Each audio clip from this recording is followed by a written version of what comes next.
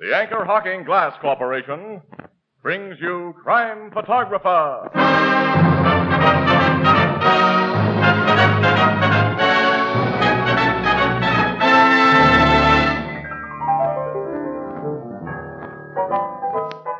Hiya, Casey. Hi, Ethelbert. How's the weather outside? Ah, it's still bad. Seems like this winter will never end. Yeah, but like I always say, a long winter means an early summer. Is that what you always say? Yeah, that's what I always say. Tony, what do you always say? Casey, I always say Anchor Hocking, the most famous name in glass.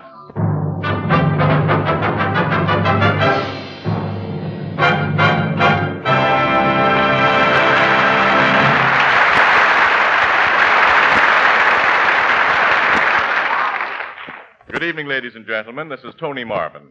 Every week at this time, the Anchor Hocking Glass Corporation of Lancaster, Ohio, and its more than 10,000 employees bring you another adventure of Casey, crime photographer, ace cameraman who covers the crime news of a great city. Our adventure for tonight Witchcraft.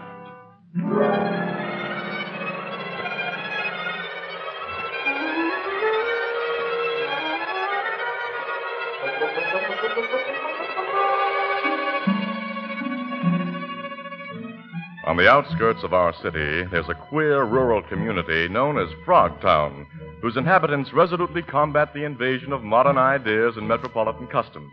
It's a section of small farms dotted here and there with a cluster of tiny houses. At about three o'clock on a cold winter morning, little groups of shivering natives peer curiously at a smoke blackened shack that has just been the scene of a fire, and at the city policemen who are milling around it. Then a car with a press sign on its windshield pulls up at the curb, and a familiar voice. Hi, Sergeant Flanagan. What? Oh, so you're here, Casey. Sure, and before any other newspaper mug from the looks of things, at least I don't see any competitors around here. Uh, you're the first of your troublemaking tribe to get here. yeah. I got a report that firemen uncovered a murder inside that shack after they got the flames under control. How about that? Oh, that's correct, Casey. Huh? They found the old guy who lived there dead in his bed. He'd been stabbed through the heart. Then the killer set fire to the place as an attempted cover up. Any dope on the killer? You'll have to ask Captain Logan about that. He's inside the shack now. Well, I'll ask him after I shoot a couple of pictures of the place from out here.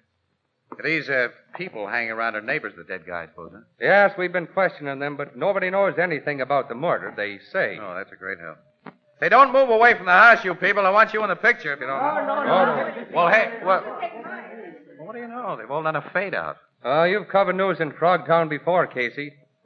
Didn't you find out the folks out here are kind of peculiar? They just don't want their pictures taken. Huh. Oh, well, nuts. I'll shoot the house with just you cops around it. Where's your uh, sidekick, Miss Williams? Uh, she was out on another job when City Desk gave me a hurry up on this one. Uh, Sarge, move over there. I'll put you in the foreground of my next shot. Oh, fine. Oh, I never say no to news pictures, Casey. The wife thinks my left profile is prettiest, uh, so take me this way. Okay, Robert Taylor. Hold it now. Got it. All right, now I'll see what Logan has to offer. There he's coming out now, Casey. Yeah, with some old dame. Now go back to your home, Mrs. Greco, and stay there. I'll want to talk to you again later on. Nothing more I can say, Captain. I have tell you everything I know. You may think of something more later. Good night. Good night, Captain. I'm honest woman when I say I've told all I have told all. Hmm. Uh-uh. I might have known you'd be showing up here, Casey. Hi, pal. Who's the old dame you just sent home? Uh, name's Mrs. Mary Greco. She's a widow, lives in the shack to the north of this one.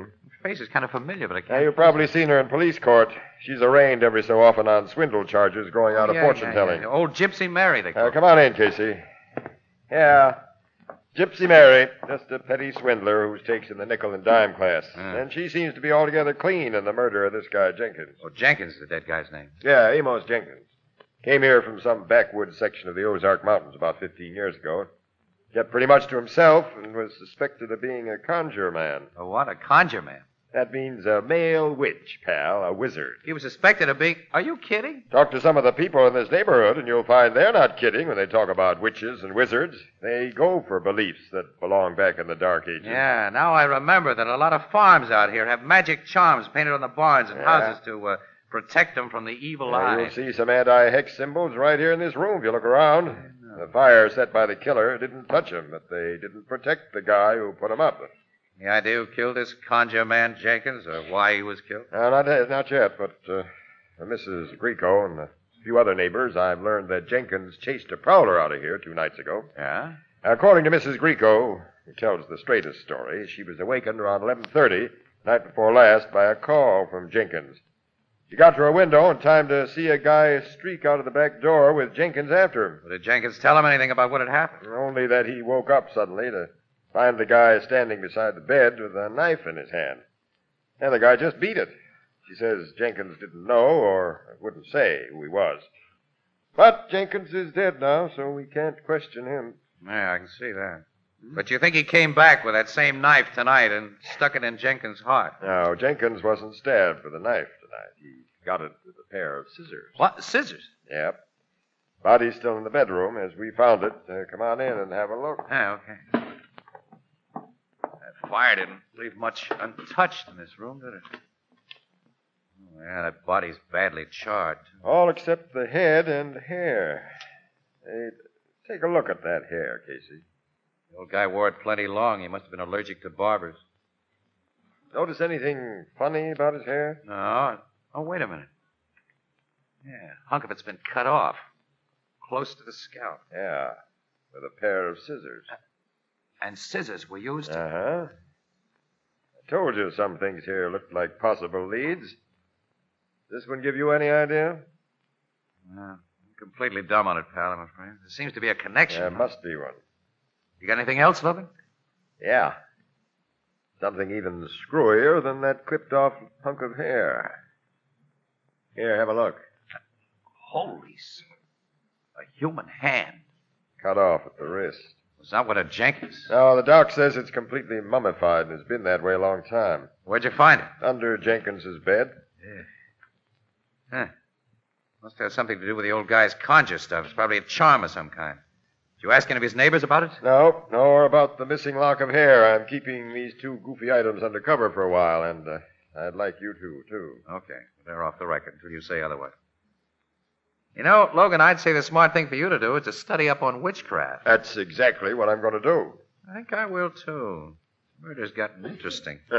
All you have to do is shoot pictures around it. I have to solve Ah, it. which reminds me.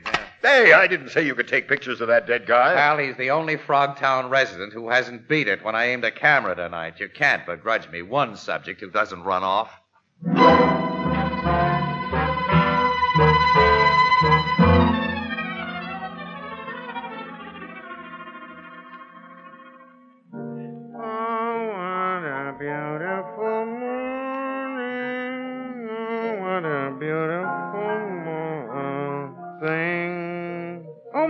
Williams, good afternoon. Good. Is Casey here? I don't see him. Well, I don't either. He ain't been in this bar all day. Oh, that settles it. This makes the third time in two hours he stood me up. If he really shows up sometime today, tell him I've gone and left no uh, word. Miss Williams, wait. What for? Well, Casey don't break dates with you unless he's got big reasons. Ain't he told you what's keeping him? Oh, yes. Yes, he's got a wonderful excuse. He and Captain Logan are studying hex, black magic. Bla- magic? Mm-hmm. And, and it's supposed to have something to do with that murder in Frogtown early this morning. Oh, I read about that, but the papers didn't mention nothing about magic. Well, Captain Logan is suppressing a lot of inside stuff on the case. Even I don't know what it is. Because I haven't seen Casey. And I'm not going to wait any longer. I'm going. Hi, Annie. Hello, Ethelbert. Awful Oh. sorry to keep you waiting, kid. I just couldn't break away, though. That professor on witchcraft is the most interesting gal I've ever met. Gal. Yeah. Oh, boy, does she know her stuff, Annie. Annie, listen. There was a murder in York, Pennsylvania, 20 years ago that may be a ringer for this Jenkins killing. It seems that a conjure man, as the Pennsylvania Dutch call him, named Nelson Rehmeyer, was killed by a guy named Blymire, and a lock of hair figured in that case, too. Her hair is blonde, of Uh, course. uh, whose hair, huh? You're fascinating, Professor. Annie. She's a little old lady. Yeah? Yeah. 70 if she's a day. yeah, and I'm talking about the lock of hair that was clipped from Jenkins. Well, I don't know anything about that. Well, I'll give you all the dope as we drive out to Frogtown. We're driving to Frogtown. Yep, right away. Have you had anything at the bar that you owe Ethelbert for? No, I just got here before you okay, came in. then let's go. Uh, just a minute. Uh, since you brung the subject up, Casey, you've been accumulating a little. Uh, uh, yeah. For two weeks. You, uh, it paid, huh? Pal, I ain't supposed to put anything on the cuff. I gotta take it out of my own Wait, pocket when I do, know, and I'm I know. short right Yeah, now. I know. Well, what do I owe you, pal? Uh, 1840. I hate to ask, and if you can't spare it. Uh, my man, this $50 bill is for you. Keep it all and credit me with the difference. Yeah, that... He's give me 50 bucks, Miss Williams. Ethelbert, he has more. hmm A neat little roll of 300 smackers, kiddies, minus the 50 I just handed over. Where'd you get all that money? Don't tell me one of them long shots you play finally won a race. Exactly. That's precisely what happened, Ethelbert. On a hunch that came out of the Jenkins murder. I stuck five bucks on the nose of an egg called Hexmaster, and he paid off 60 to 1. Well, did you... Casey, you've never won on the horses. Hmm. Well, I'm playing my Hexmaster hunch still further, Annie. And to win by a length. Come on. We're driving to Frogtown.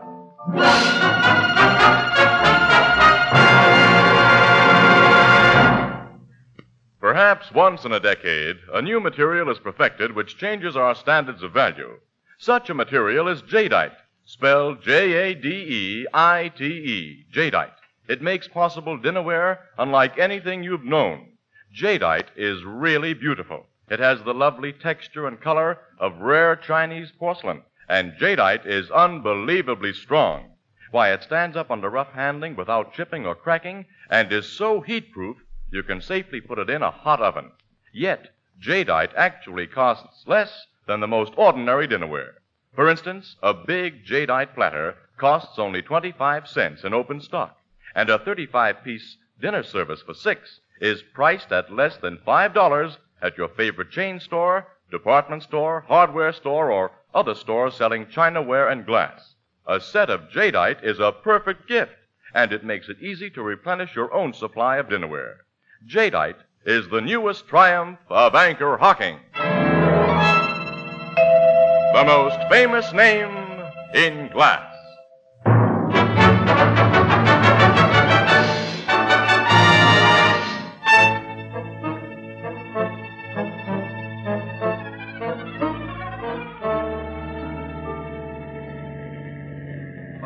There you are. I've given you a complete picture of what Logan found after the murder and of what the professor told us today. Well, it seems incredible that people in this country still believe in witchcraft, that they still practice it. And they still kill people because of it.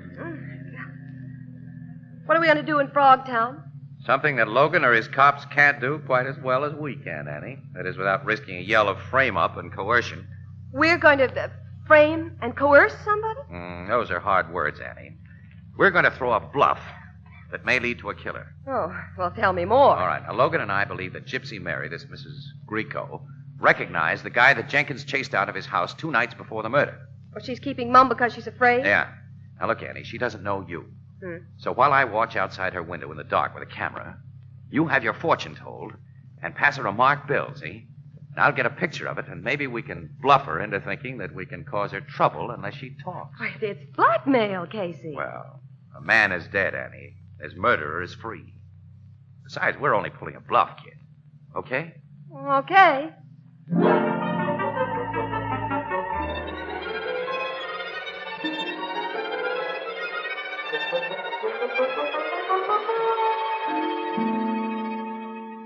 A very interesting hand, young woman. Very interesting hand. You can uh, read my future in it, Mrs. Greco?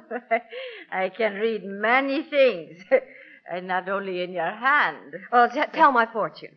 Oh, I'm sorry, I forgot. How much do you charge? Oh, the little lady wants to pay me? Well, of course. no, no, no, my dear. Put that money back into your purse. Old Mary will give you what she sees for nothing. For nothing? Uh-huh. to begin with, my dear, there is a young man in your life who will be more comfortable if he comes into my warm house instead of standing in the cold outside my window. oh, I, I've come inside, Mr. Casey, with your camera. Uh, thanks. You'll find the door unlatched. Just push it open.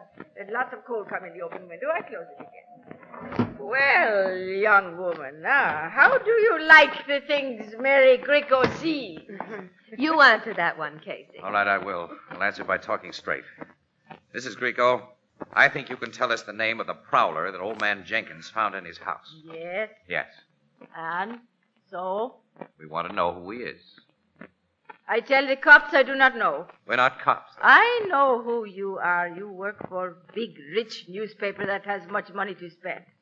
Uh, well, I can't read hands, but I can read minds sometimes.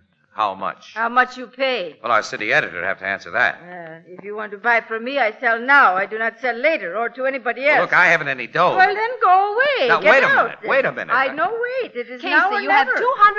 Oh, two hundred fifty Oh, dollars. that, that, that belongs to me. It's not the paper's, bright girl. Give Annie. me two hundred fifty dollars, I'll and give I it to tell. her, Casey. It's worth it. Well, maybe the paper won't give it back to me. Of course it will. For a murder exclusive? Give me or get out. Okay, okay. Stick with me, Hexmaster. Don't let me lose this role you won me. Mm-hmm. It's just uh, two hundred fifty. All right, now give me the dope you promised. I give, and the true dope. I, I not only see the man Amos Jenkins chase from his house that night, but my good friend Jenkins tells me who he is. All right, tell us. The man you want has a little farm on Barry Road. His name is Elisha Kraft. Elisha Kraft, Barry Road. That's right. You'll have no trouble finding him. but you will not find that he killed Amos Jenkins. What? What do you mean? Go and see Elisha Kraft. Get acquainted with him. Your money has bought truth from me, Mr. Casey. $250 worth of truth. but it has bought no murderer.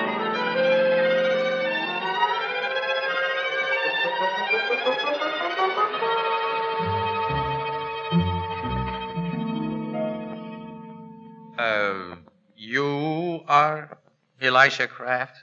Yes, sir. I just told you I was. Yeah, I just wanted to make sure. What you and this lady want to see me about? Well, uh, we're on the Morning Express, Mr. Kraft, covering the murder of Amos Jenkins. Amos Jenkins? Uh, Mr. Kraft, a witness has positively identified you as the man Jenkins discovered in his house three nights ago. Mister, I admit I was in Jenkins' house that night, and I ain't sure how I got there. What? I'm a sick man. Sometimes I get spells and I don't know where I am or what I'm doing. I didn't know I was in Jenkins' house until he hit me. Then, then I come out of my spell and ran. You had a knife in your hand. How do you explain that? I tell you, I don't remember. Besides, I ain't got strength enough to choke a kitten. I, I can't even do the littlest work around my farm anymore. I gotta hire fellas to do it for me. I'm sick, mister. I'm worse than sick. I'm dying. Casey. I'm sorry, Mr. Kraft. I had to do this. I wasn't in Jenkins' house last night anyway. I can prove it by my two hired men and Dr. Hoffman. I had one of my spells last night, a bad spell. Dr. Hoffman come at midnight, and him and the hired men set me. They sat with me till three in the morning. Dr. Hoffman, you say? Uh, Dr. Gustav Hoffman. Anyone will tell you where to find him, and anyone will tell you his word is better than gold. Uh, how long have you been sick like this? Going on a year now. It it hit me sharp and sudden. Well, we hope you recover your health as suddenly as you lost it. Uh, thank you, ma'am. I, I hope for the best myself. Uh, let's go, Casey. Uh, just a moment, Annie. Uh, before we leave, Mr. Kraft, I'd like to take a picture of you. Picture? Yeah, for the paper. No. Huh? Why not? Don't believe in pictures. Don't like pictures. I know my rights. Nobody can take pictures of me when I say no. I gotta rest now. I'm a sick man. Yeah. All right, we'll go. Thanks for everything. You're welcome. Goodbye. Uh, goodbye, Mr. Kraft. Hmm. Casey, even if his alibi proved phony, I couldn't believe that that poor wasted midget of a man drove a pair of scissors through Jenkins' chest. Neither could I, Annie. I don't think his alibi will prove phony either. Although we'll check it, of course. Come on, get in the car, kid. Okay. I'm sorry, Casey. Sorry for what? The $250. Oh. I made you give it to that old woman. The paper's tough when it comes to money. You don't think it'll allow me the dough I spent because we're not bringing in 250 bucks worth? All we'll get for your money is a, a razzing. Mm, I'm not so sure Gypsy Mary swindled us, Annie. Well, now, how can you say that Annie, after... before I start the car, take a good look at Kraft's house and his barn and chicken houses. Well, I'm looking. All right, what do you see? Well, a group of very well cared for buildings. Annie, listen. If you had a barn, for instance, would you have a fake window painted on each side? Has fake windows. Just painted on the board. Yeah, they're to fool witches. To fool witches. Yeah. According to some popular hex ideas, the witch will be sap enough to try to get in the barn through those windows. instead of going to the door. Casey. Yeah. There are painted wheels on some of the buildings, too. There's a witch catchers. Our friend Elisha Kraft had hoodoo chasers hung all over him. You mean he's he's a believer in witchery? Yeah. And like Jenkins' neighbors this morning, he's afraid of being photographed, too. Yeah, I noticed that. Yeah. Well, I'm going to get pictures of that guy when he doesn't know there's a camera around Annie. And then I'm going to make him tell me who he paid to kill Amos Jenkins.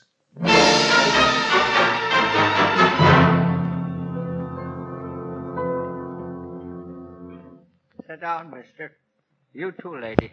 Thanks, Mr. Kraft. What you two come to see me about this time? Well, we figured we owed you an apology for our first visit three days ago, for the suspicions we had of you then, I mean. Oh, that's all right.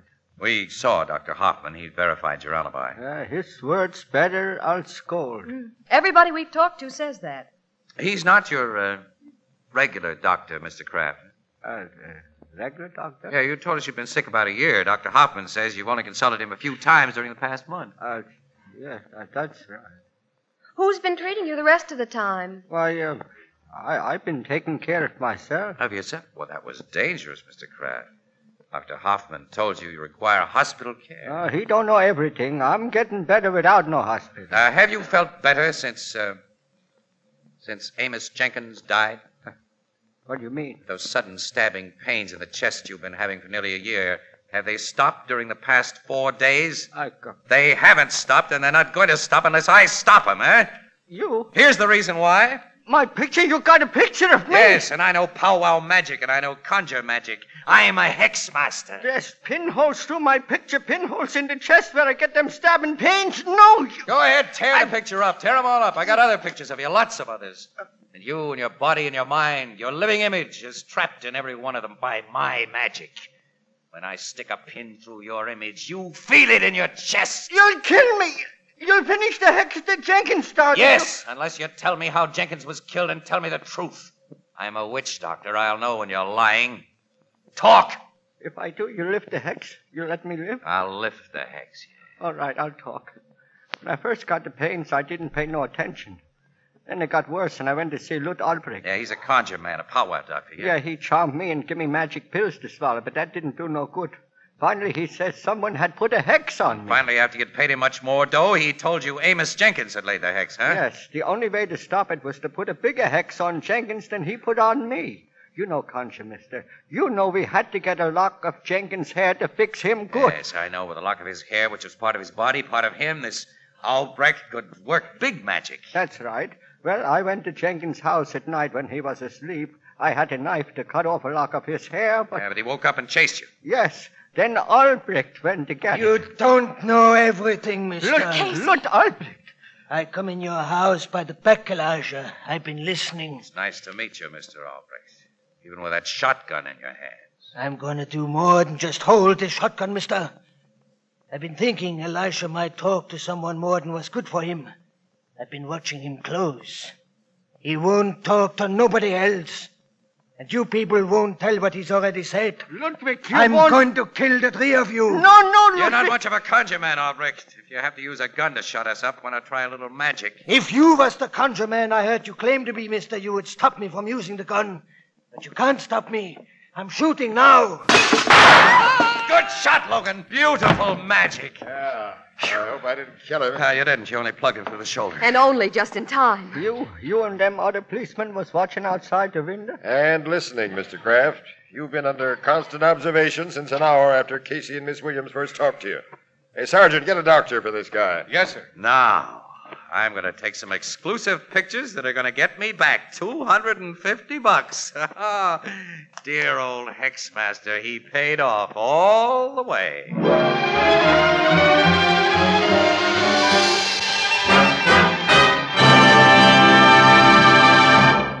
We'll join the crowd at the Blue Note in just a moment. You know, American children are the healthiest children in the world, largely because most American babies now get a good, sound start in life. Much of the credit for this is due to our American food packers who produce convenient, scientifically prepared baby foods. The young mother can now give her baby well balanced, nourishing meals without spending endless extra hours in the kitchen. In selecting prepared baby foods for your baby, whether fruits, vegetables, soups, or meats, it's wise to insist on two things One, a brand name with which you're familiar, and two, a glass jar. Sterile, crystal clear anchor glass jars can't possibly affect purity or flavor. And because you heat and serve foods in the same glass jars in which you buy them, and then reseal the jars to store leftovers, mothers save precious hours each week. Most of the better brands of prepared baby foods are packed in clean, sanitary anchor glass jars and sealed under vacuum with easy to open, easy to reseal anchor caps. Both products of Anchor Hocking. The most famous name in glass.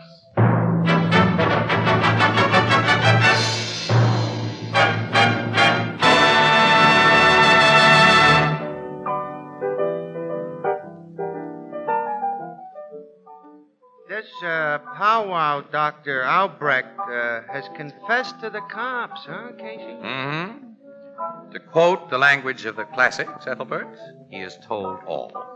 As a matter of fact, Kraft had already paid Albrecht several grand for his magic help. There's dough in being a witch doctor. You said it. Well, Jenkins woke up when Albrecht snipped off a hunk of his hair, and Albrecht let him have it with his scissors. Hmm. And then he set fire to the place and made his getaway, and. Oh, that's all. Well, not all, Annie. There's that that mummified hand. Oh, and definitely. How did that thing get under the bed? Well, Albrecht had brought it with him. It's supposed to be the hand of an executed criminal. And it's supposed to be a powerful magic charm. A charm for what? Well, I tell you, Ethelbert, if you want to go into a house and steal something, hmm? a lock of hair, for instance, it prevents people in the house from waking up and catching you at it. Eh? Yeah, but it didn't work. No, not so good. Gee, in this age and day, such people. Yep, they're with us, pal. Say, did you get your 250 bucks back from the paper, Casey? Uh, hmm. he got it. Oh, it's, wow. Hmm, it was. pipe down, will you, Annie? What goes on? Casey played a hunch too far, Ethelbert. Uh, well, okay, I'll tell it. I don't mind. Uh, You see, Hexmaster was running again, Ethelbert, and I stuck the whole roll on him, and I. Say, uh, Ethelbert, can I, can I have the change from that 50 bucks I gave you? Casey, you just don't have any hex appeal. Huh?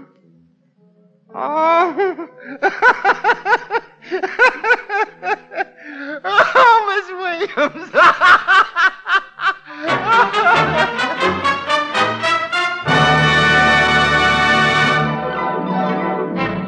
Crime Photographer, starring Staats Cotsworth as Casey, is written by Alonzo Dean Cole. It is brought to you each Thursday by the Anchor Hocking Glass Corporation, makers of Fire King Oven Glass. Anchor glass containers, anchor caps and closures. All products of Anchor Hocking, the most famous name in glass.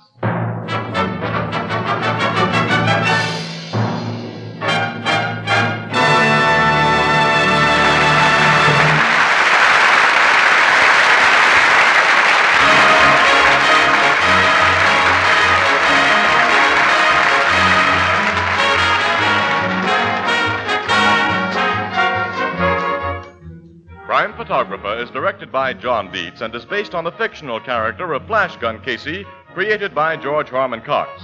Original music is by Archie Bleyer, and the program features Miss Jan Miner as Anne and John Gibson as Ethelbert. Herman Chittison is the Blue Note pianist. Next week is Brotherhood Week, and let's make it work. Judge every man by his individual worth, not by some label. Don't spread any rumor against any race or religion, and don't listen to them either. Speak up against prejudice and for understanding. This is Tony Marvin saying good night for the Anchor Hocking Glass Corporation of Lancaster, Ohio, with offices in all principal cities of the United States and Canada. This is CBS, where 99 million people gather every week, the Columbia Broadcasting System.